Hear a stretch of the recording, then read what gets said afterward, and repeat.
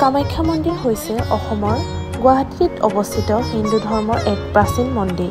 গোটেই ভাৰততে ব্যাপ্ত হৈ থকা মুঠ একাৱন্নখন দেৱীপীঠৰ মাজৰ অন্যতম গুৰুত্বপূৰ্ণ পীঠ এই কামাখ্যা মন্দিৰ। নীলাচল পাহাৰত অৱস্থিত কামাখ্যা দেৱীৰ এই মন্দিৰকে অসমৰ সৰ্বাতোতকৈ প্ৰসিদ্ধ আৰু প্ৰভাৱশালী মন্দিৰ বুলি ভবা হয়। তন্ত্ৰ পূজাৰ কেন্দ্ৰ হোৱা এই মন্দিৰটোৱে অম্বুবাচী মেলা নামে পৰিচিত বাৰ্ষিক উৎসৱত হাজাৰ হাজাৰ তন্ত্ৰ ভক্তক আকৃষ্ট কৰে। অন্য এটা বাৰ্ষিক উদযাপন হ'ল মনসা পূজা। শৰৎকালত নৱৰাত্ৰিৰ সময়ত কামাখ্যাত প্ৰতি বছৰে দুৰ্গা পূজা উদযাপিত কৰা হয়। আজিৰ তাৰিখত কামাখ্যা মন্দিৰ সমগ্ৰ দেশজুৰি প্ৰবলভাৱে জনপ্ৰিয় হোৱাৰ মূলতে আছে ইয়াৰ সৃষ্টিত জড়িত হৈ থকা আৰ্য অনাৰ্য দ্ৰাৱীয় আদি সম্পৰ্কীয় সংমিশ্ৰিত কাহিনীসমূহ। প্ৰচলিত প্ৰবাদ অনুসৰি প্ৰাচীন অসমৰ কিংবদন্তিমূলক ৰজা নৰকাসুৰে কামাখ্যা মন্দিৰ আৰু ইয়াৰ শিলৰ খটখটি নিৰ্মাণ কৰিছিল বুলি জনা যায়। কিন্তু কালিকা পুৰাণত বৰ্ণিত অন্য এক আখ্যান মতে শিৱৰ পত্নী সতীৰ মৃতদেহ বিষ্ণুৱে সুদৰ্শন চক্ৰৰে কাটি খণ্ড বিখণ্ড কৰাৰ পাছত ইয়াতেই সতীৰ জননাংগৰ ভূমিপত্ৰিত হৈছিল বুলি কোৱা হয়। মুখে মুখে অতীতৰ পৰা প্ৰচলিত হৈ অহা এই দুটা বিশেষ প্ৰবাদৰ বাহিৰে অন্য একো নিৰ্ভৰযোগ্য তথ্য এতিয়ালৈকে জানিব পৰা হোৱা নাই। যি কি নহওক প্ৰাচীন কালত বিভিন্ন সময়ত ৰচিত ধৰ্মীয় সাহিত্যৰ অন্তৰ্গত পুৰাণসমূহে এই কামাখ্যাক পূৰ্ব ভাৰতৰ শক্তিপীঠসমূহৰ ভিতৰত সৰ্বাতোতকৈ গুৰুত্বপূৰ্ণ বুলি উল্লেখ কৰি গৈছে।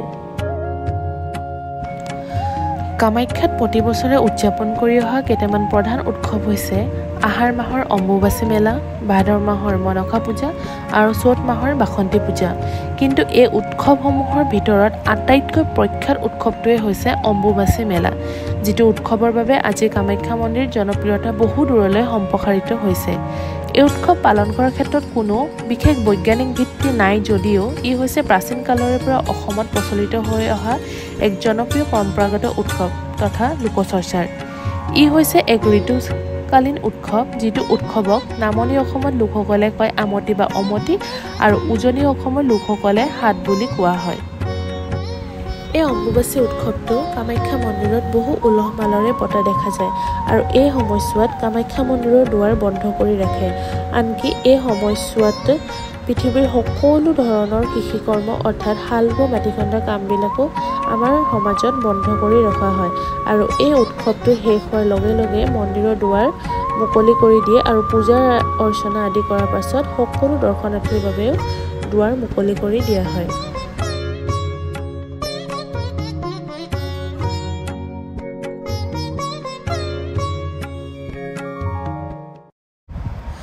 চ' গাইজ মই আপোনালোকক কামাখ্যা মন্দিৰৰ ইতিহাসৰ বিষয়ে ক'লোঁ। মানে মই যিখিনি জানো সেইখিনি আপোনালোকৰ লগত শ্বেয়াৰ কৰিলোঁ।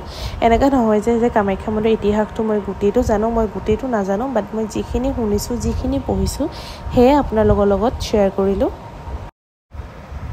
চ' গাইজ আজি ময়ো আহিছোঁ মা কামাখ্যা দেৱীৰ দৰ্শন কৰিম বুলি।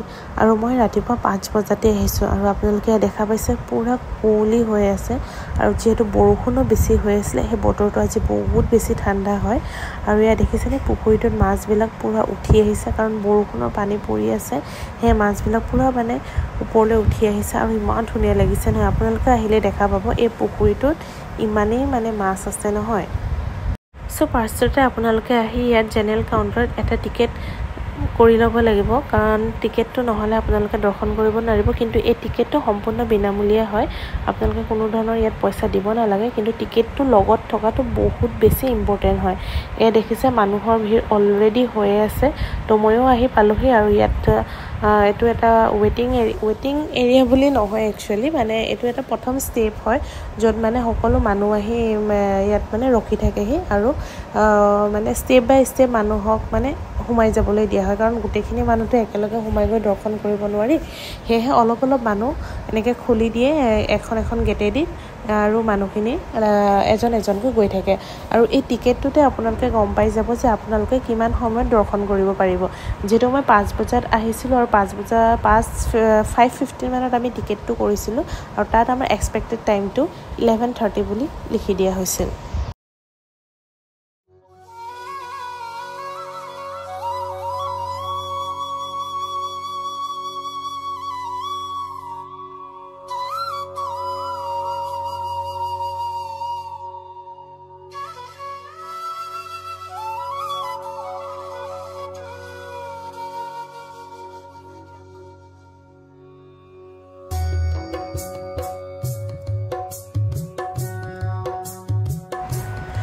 য'ত মই দেৱী দৰ্শন কৰিছিলোঁ সেই ঠাইটো মই আপোনালোকক দেখাব নোৱাৰিলোঁ কিয়নো ইয়াত কেমেৰা এলাও নাই। সেয়েহে দৰ্শন কৰি তাৰ পৰা ওলালোঁ আৰু দৰ্শনৰ সময়টো টিকেটত দিয়া সময়মতে আমি মানে দৰ্শন কৰিবলৈ পালোঁ। মানে তেওঁলোকে এক্সপেক্টেড টাইম ইলেভেন থাৰ্টি লিখিছিলে আৰু সেই টাইমটোতে আমি দৰ্শন কৰিলোঁ আৰু দৰ্শন কৰি হোৱাৰ পিছত আমি চাকি গছ কিন্তু বাহিৰত এটা এডোখৰি মানে ঠাই ধুনীয়াকৈ দি দিছে। তাতে মানে চাকি গছ জ্বলাব লাগে ভিতৰত চাকি মানে লগাব দিয়া নহয়। কাৰণ মানুহৰ ভিৰো বহুত বেছি হয় ন সেইটো কাৰণে একচুৱেলি ভিতৰত চাকি লগাবলৈ দিয়া নহয়। তো আমি এনেদৰে বাহিৰতে চাকি লগালোঁ ধূপ লগালোঁ।